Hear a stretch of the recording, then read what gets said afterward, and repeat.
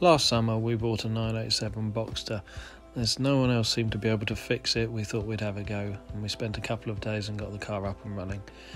Now, having sat over the winter, it's about time we got it in a real road usable condition. As you can see, the car was suffering from heavy corrosion on the anti roll bar, crossover pipes, brake pipes. We powder coated both anti roll bars, fitted new Powerflex bushers, fitted new braided brake hoses, new brake pipes, and replaced all of the crossover pipes and hoses for the coolant system.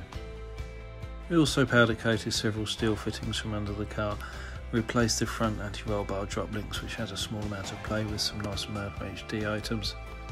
The engine sump had also been leaking so this was removed, very well cleaned and then refitted.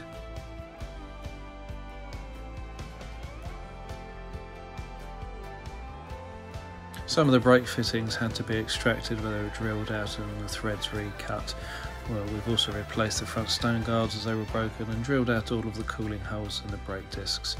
All four brake calipers were completely rebuilt with a new coat of paint.